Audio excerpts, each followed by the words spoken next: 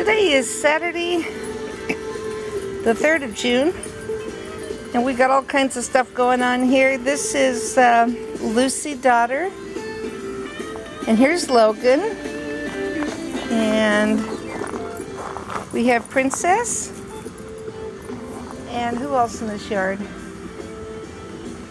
Cooper. Cooper. Oh, there he is. he wants to go swimming, so we're going to have to change dogs around here pretty quick.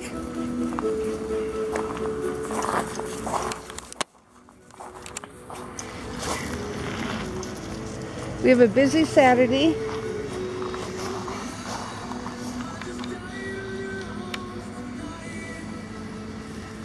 what did you see in there? Is there a bug?